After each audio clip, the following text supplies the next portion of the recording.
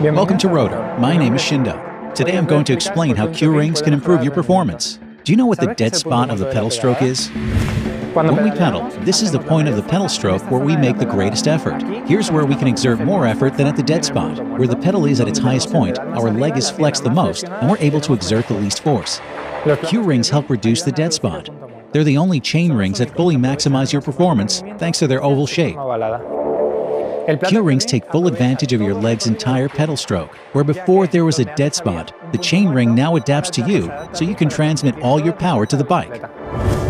Different models of Q rings are compatible with the majority of cranks on the market. You'll see that installing Q rings on your bike is a very simple process. I hope you've liked the video and that you'll give Q rings a try. Best wishes and keep riding. See you soon.